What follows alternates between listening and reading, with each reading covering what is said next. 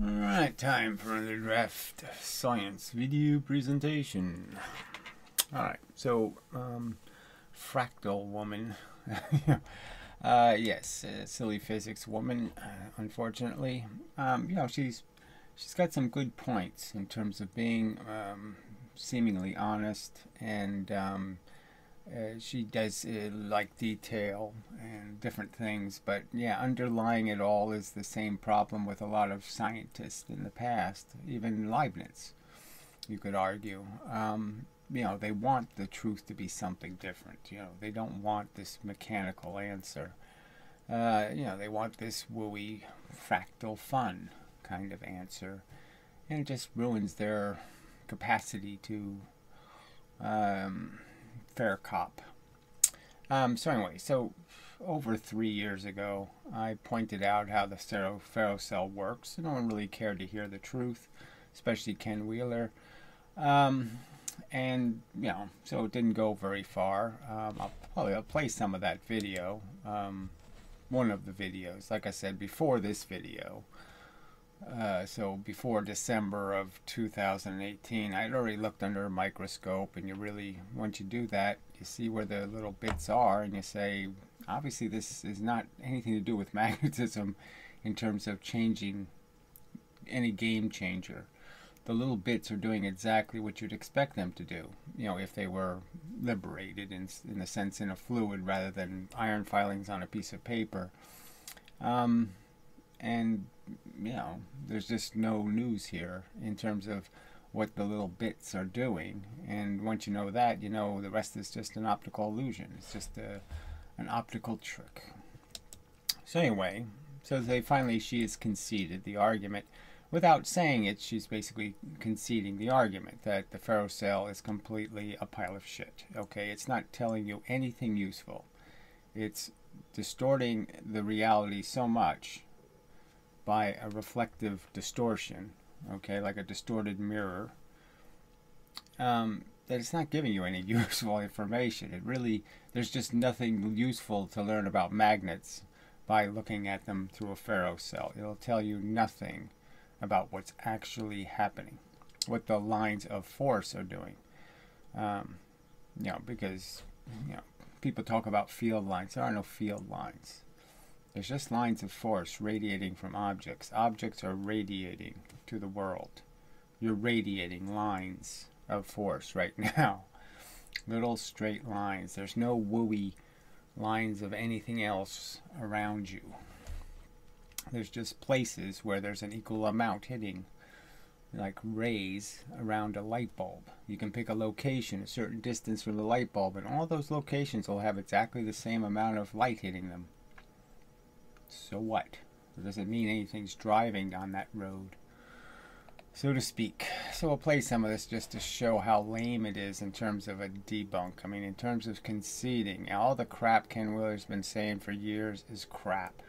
Everything she said for years is crap. So instead of just saying, yes, we've been full of crap for years, and we've been um, ignoring and dismissing uh, people who attempted to explain the truth to you, yes, yeah. That other guy, whatever he is, um, you know, Science for Christ or whatever the hell he is, yeah, he's also full of shit. So today I'm going to do a little update on the ferrocell project that I'm working on with AB Science. Um, so whatever, I don't know what their project is. Part of the problem is this: see, this starting line is wrong anyway. Okay, this these these this is not what you see under the ferrocell ferrocells, I mean, under, you know, with the, with the actual doing. It's not doing this line stuff. So, you know, this image is already a distortion in terms of saying, well, this is what the basic mechanism is. Because it's not the mechanism. The mechanism is pure radiation, straight lines flying out of this thing. The little bits line up. You put a north side down, they all line up like they were just rays of light coming out. They all line up going right towards the center of the um, magnet. Uh, same for the south. And then when you put the magnet on edge, you can get these um, different effects. But though that isn't the most common use of the ferrocell. So, you know, this is sort of, uh, you know, this is the only image we get of the real magnetic fields created to explain. And she should have a real good comparison. Just show the, uh, you know, iron filings in oil, and you'll see that's just, you know, um, ferrofluid even, you know, on a, just outside of two pieces of glass will basically show you that it's just radiating. Now, uh, this uh, all happened around four months ago, or it all started around four months ago when AB Science made a video uh, called What Does the Ferrocell Really Show? or What the Ferrocell um, Shows. Yeah, it was kind of a lame explanation, frankly, um, considering that two years before that I had already explained it. But whatever. And, um, and in this video, he did a little simulation using, um, using uh, Blender to show uh, to demonstrate that what the ferrocell is likely showing, the lines that we see in ferrocell are created um, using um, specular reflection. So I don't know. See, she keeps using this image. This image has nothing to do with the ferrocell, so it's it's just a it's not a useful image. Ferrocells don't do this. And off the nanoparticles in the thin layer ferrofluid of, doesn't uh, do it either. between the ferrocell, which contains ferrofluid. And so um, this project has advanced quite a bit since this simple simulation using Blender. I was able to replicate his simulation quite easily using um, using um, the exact same method that he. So this is supposed to be okay. This is their first simulation, and it's just this is again showing you where the light reflects. It's not showing you what the iron filings are actually doing. So the iron filings are actually lining up just spiral, you know, just just rays, rays, straight line rays coming out of the magnet. And at certain angles you'll you're seeing different locations different different um, rays will reflect light at different locations. And when you add them all up they end up being a curved line but there is no curved line that you're seeing. You're seeing bits hitting different rays. Light hitting at different rays at different locations that all end up reflecting to your eye it's like a rainbow, okay? It only reflects a certain angle and then, you know, to another angle. So when that angle isn't right, there's no rainbow. Same idea. To me, after I got in contact him, with him after seeing this video. Since that time, AB has uh, developed a more, um, I'm going to say, a more scientific approach to the simulation of the light lines that you see in the ferrocell. And uh, so today, what I'm going to I'm going to do is I'm just going to show you some of the results. I'm not going to get into the details because um, we are still working on the paper, and I am still working on. So uh, they're going to write a paper, you know, about what? Uh, that'll be interesting. Um, frankly, you know, just because I already wrote the paper, so to speak, I already made the video. Uh, so. Um, yeah, so I mean, it's you're just all this is is, the simulation is relying on the, just doing a simple mathematical equation. It's just saying at what angle, at what line, there's a line here that's going to reflect light from a certain angle from here, bang, and then there'll be another reflection that can happen from here, bang. So what you know, so I'll let it go a little further, and then you'll see how close what I was saying three years ago is to the actual simulation uh, the fine details now of the software because I think the results we have right now are quite good. But um, I just want to make sure that I'm simulating my experiment as accurately as possible, uh, just to make sure that we're getting um, the best results that we can out of the software. And so what I'm going to do is I'm going to start with um, just the one, the single light. Okay, so right. So this is what I discovered when I well, first I didn't even use the the microscope. This is the first thing I did was just say, okay, if I just shine one light, what do I get? And I get this you know, I get this little arc light. Now I recall I saw it doing both. I saw it going this way and that way. So like this, the light ends up reflecting off the other side of the glass. I was using a glass slide. And so it creates a, a mirror image which kind of, you know, does fool you. Okay, a little. You know, I mean, it fooled me a little bit because I was trying to make sense out of the wave in the, you know, in the pattern but this is really what each light is producing is this little arc so as illustrated here so um, the rest of our video is just more of the same blah blah blah we'll just jump through it I suppose and then we'll just play my video which will be saying exactly the same thing experiment. So this, I took a red laser and I placed the ferrocell on uh, a magnet and I put a red laser over here pointing in towards the center of the glass and towards the center of the magnet. Right, so this whole little arc is really, there's straight lines going through here. So it's cutting a straight line this way, it's cutting a straight line here, straight line here, straight line. They're all just straight lines. And it's just because the angles are correct, they all go to the same location. So they end up going to your eye. So your eye sees a little piece of each one of those rays, but it sees a different location on each ray. It's a little different location. Very close to the center here, very far from the center here. Because of the angle created by the little piece of ferro stuff that has a it has a bigger length than it has width. And uh, these are the results we get from the simulation, and so uh, modeled. And so um, what I said before in my community. Yeah, it's obvious you can see it matches. And so. Um, yes, if one works, all of them work. She's saying so. Basically, this is the explanation. Each LED is creating one of these little arcs of light, and when you add them all up, it looks like something, but it really isn't anything at all. It's just optical illusion.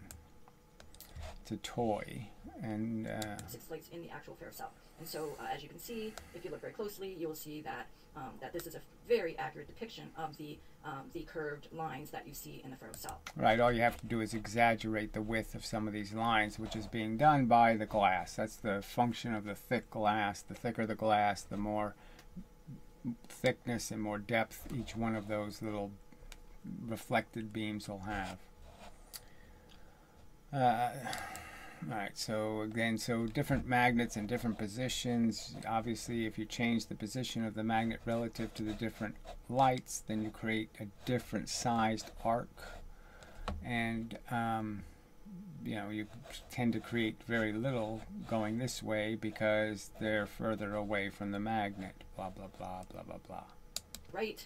And you can see the simulation is uh, very accurately depicting the light together, and I simulated that here. you can see that, you know, especially when you look at you know the direction. So she's just demonstrating how accurate the simulation is, blah blah blah blah blah. But she's really not talking about the important thing, which is, oh, all of this crap you've heard about this having anything to do with revealing a secret of magnetism, that's garbage. Because this isn't getting to the function at all. It's just um, a distraction. It's a distortion of the truth. Uh, the center uh, of here and here, just so you can see, um, you can see how closely the match is in this region here. You can see this red region here has a sort of cross. Okay. We're getting extremely good results, in my opinion, of the um, what we see in the ferrocell. So she's sort of talking almost like she wanted this to be an answer. This, of course, is exactly not what she wanted to hear. Um, you know, just debunks all of their theory that has anything to do with all their incommensurability and all their other crap, all the words and their hyperboloids and all that nonsense. There's none of that in the magnet. The magnet's not doing any of that crap. And it's certainly not bending light like Ken Wheeler would argue.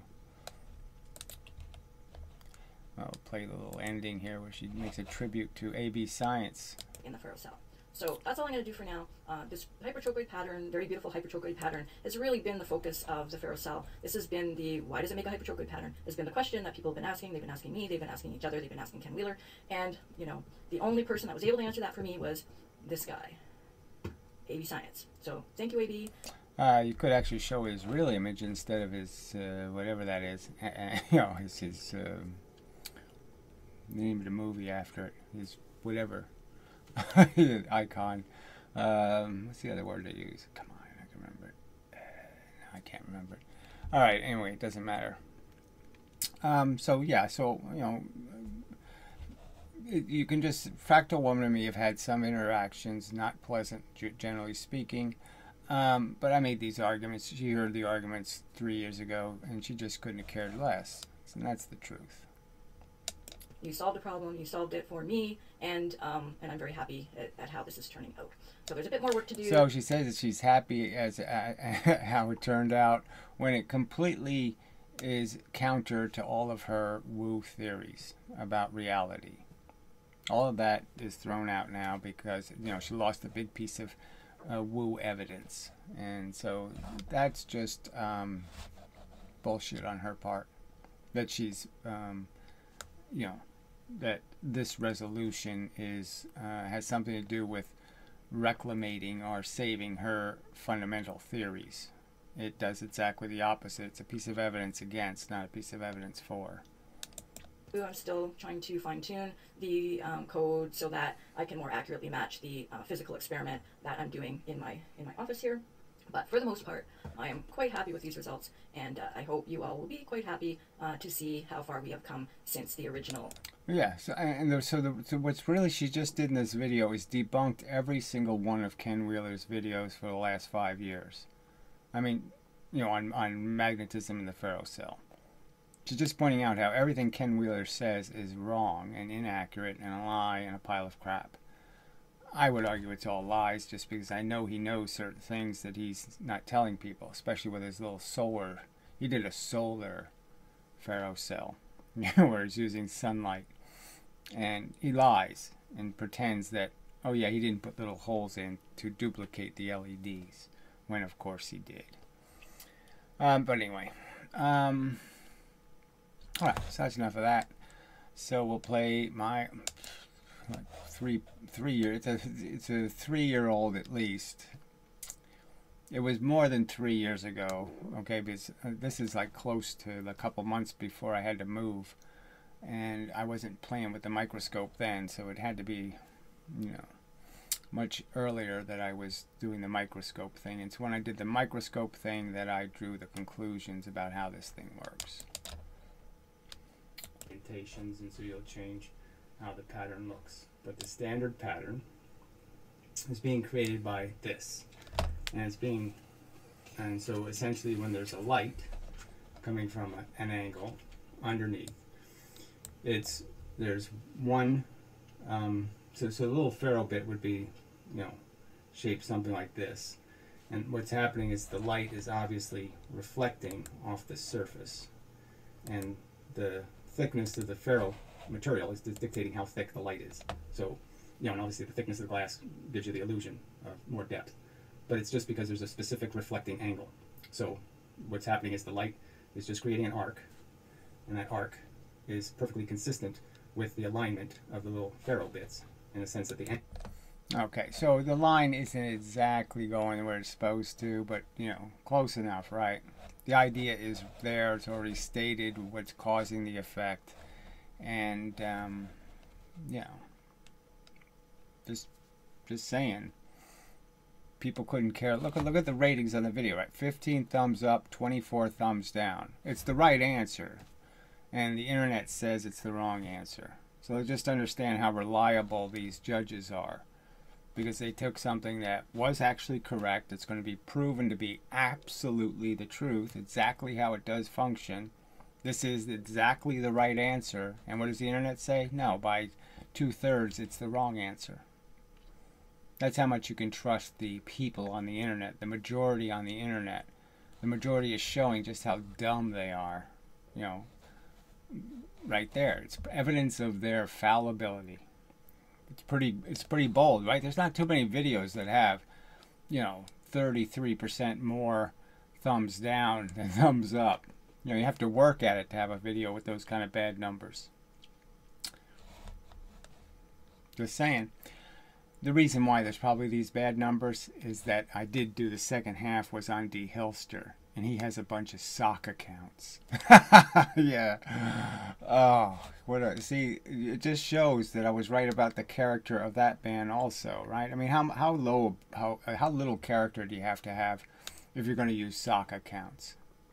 I mean, that's just right there. As soon as you're doing that, you're just such a cheater. I've never had a sock account in my life. I've never had any account I was using where somebody wouldn't know who I was, ever, ever on the internet. I don't even have an. I don't even have a. I don't have a fake email address. I don't have a fake anything. I mean, these people are just so. Ew. Ew. Angles are right to reflect the light to your eye. So if you combine the angle of your eye and then the, you know, the angle you're coming, you're looking at, with the angle to the light, which is in this case down and in a direction, when you combine those angles, the angle of reflection will be the same for these vectors. So it's just a combination of the angle to your eye, okay, so your eye's over here, combined with the orientation of the bit and the direction of the light. And when those things are all the same, then you see the photon. When they're not the same, you don't. So at one angle, you'll see the light. So it's like the it's like the Brewster angle. It's some specific angle for which you'll get the light that will come to you instead of light going someplace else. You know, So like a rainbow. Blah blah blah blah blah blah blah. over here, over here, over here, over here, comes to you when it's that one angle. Um, that's all there is. There's no there's no magic to this at all. There's no you're not seeing the magnetic field. You're seeing a distortion of it. You're seeing a perversion of it. It's it's not it's not an accurate representation. It's So there was there's nothing in the magnetic field doing this curved line. There's no piece of what magnetism's doing that's creating this curved line. There's no essence of it. There's nothing. It's just an obscure, tiny mathematical, um, you know, reflective index kind of thing. So it's just like, you know, it's like seeing people, you know, potato chips look like Richard Nixon or something. It's well, it's not that random, but it's you know, there's a symmetry built into the pattern, and so the pattern can create, um, you know, other symmetrical um, derivations. But they have nothing to do with anything that's actually in the functional part of the pattern. It's just uh, uh, incidental. like me making, you know, I, I could turn this video into an outline video, you know, or I could do just contrast, you know, harsh black and white, you know. So that's probably not even a good analogy because then there's still some real relevance to the actual video. It's you know I have to get to some point where it's like just the stripes are showing in the video or some some way of saying there's but see but that would actually have something real. This is so distant that it doesn't have anything. There's no real component to that curved line that isn't a huge abstraction. You know that isn't. Uh, abstract to the actual function. I could do lots of things to manipulate this video, and it wouldn't be representing me. It'd just be representing me perverted, you know, by how you reflect light off of me, or how you interpret the light that's coming off of me. So that's all there is here. There's nothing. The, the, the ferrocell is not revealing the magnetic field. It's not showing you the truth. It's showing you a distortion of the truth. It's showing you a, a manifestation of, of optical effects but it's not reality. It's, it's like a, it's like a mirage in the desert. It's not true. It's like you're seeing something in the vapor. You're not seeing something on the land. It's a distortion of reality, and it should be just known for that. It's a toy. It's a nice little visual toy, but it's not a scientific instrument. It's not. It's not a telescope. It's not a microscope. It's not showing you the truth. That's really all. I shouldn't have to say any more than that. I mean, the images speak for themselves. Like I said, just look. I'll post a link to her video. Just look at it because you'll see it in its crudest form. This is the crudest you get. They're just dull little arcs of light. And each Right. So this was actually a response to, um, you know, Fractal Woman's uh, videos where she was still asserting that she was looking at uh, something real, you know, something in, uh, you know, there's something the magnetic field was, um, that there was some connection. You are amazing. Well, that's, you know, kind of a weird comment. Uh, can I call you Mr. Truth? Well, at least those were good comments. Uh, That was three years ago, so yeah. Uh, don't get much of that anymore. All right. So anyway, just making the point. I was there first. I had the right answer. I got treated like shit, uh, at least in the ratings on the video, and certainly didn't get any rational response from Fractal Woman in terms of explaining what you could do. And again, it's something she knew could have known everybody knows Ken Wheeler has seen probably every ferrocell video, right? Or lots of them. And there's people who have looked at the ferro material under um, a microscope. All right. Now, some of them are kind of bogus just because they don't really show the whole thing. They don't put a small enough magnet, show you know what's really going on, and they put music to it and show them moving, and it's all like some art video. Um, so anyway, so somewhere earlier than this, I did do, I did show the images, um, you know, that I got, some of them, and um, yeah, they're but they're not any different than any of the other microscopic in- images, and you just see that the ferro bits are just lining up lengthwise. They're not making any patterns. They're just radiating from the magnet. that's it. Okay, so um, enough of video. So it's too bad AB Science has you know wasted a bunch of energy on this when he should waste time uh, making some kinetic energy proof, or even explaining how the double slit isn't the force source experiment. yeah, but instead of that, he's you know can't say it's a wasted time because the proof is good. It's good to have a just so you know mathematically what goes in and that this is the result and it mimics the actual pattern seen so clearly that's the right answer. It's just light reflecting and it's not reflecting off anything obviously produced by the magnet. It's an abstraction. Hmm, yeah, I'm just trying to think of some way to point out how it doesn't look the way it should. It's like I, you can have something and then you could cast the shadow, and the shadow doesn't look anything like, you know, the actual shape of the thing because you turned it, you know, and you lost all of its essence and oh, well, something. There's probably some good analogy for just how how much of a distortion it is from anything that's actually happening that the magnet's actually doing. The magnet's not doing any of this. The magnet's creating radial lines, lines of force, straight lines. Alright, so anyway, till the next time, I guess that'll be enough. And such. Uh, yeah, that's enough. Alright, so till the next time, this has been a Draft Science video presentation talking pretty much to things as dumb as the wind if they aren't actual wind. So if I'm not talking to the wind, I'm probably talking to something just as dumb. Just as incapable of um, deciphering, uh, you know, English words and uh, you know applying um, honest evaluation to their structure. yeah. They're just science deniers. This is funny. Yeah, my audience is mostly science deniers. Yeah. All right, till the next time, such.